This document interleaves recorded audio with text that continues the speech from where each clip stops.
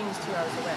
So they were hiding. No, somebody said they saw the King Bearcat heading southbound on some route like Monday morning before anything happened. Like, So they're really focused on this house. These guys were all like hiding behind that Bearcat. Now the Bearcat's gone.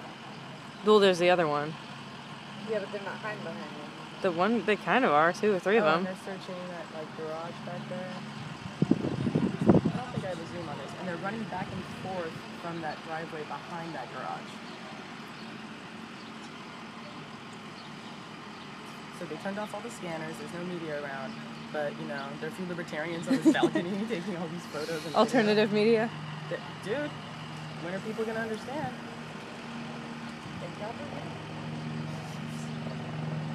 For all this excitement. Yeah, this is really not I keep seeing the flag next door and thinking it's. Huh? I keep seeing the flag next door, like waving and thinking it's like the neighbor coming out. I, I've been thinking that all yesterday and today. I wasn't even supposed to be here today. I know, right? This is the worst Clerks movie ever. I'm really glad I didn't make Jay stay. Because I was like, I don't know if it's really bad now. Maybe he waits like an hour. Yeah, well, Kevin was saying they're telling everyone to stay indoors, but they, they haven't mandated it yet, and you know, martial law, blah blah blah. Everyone's like, stay away from the windows. I'm like, yeah, I'm on the balcony.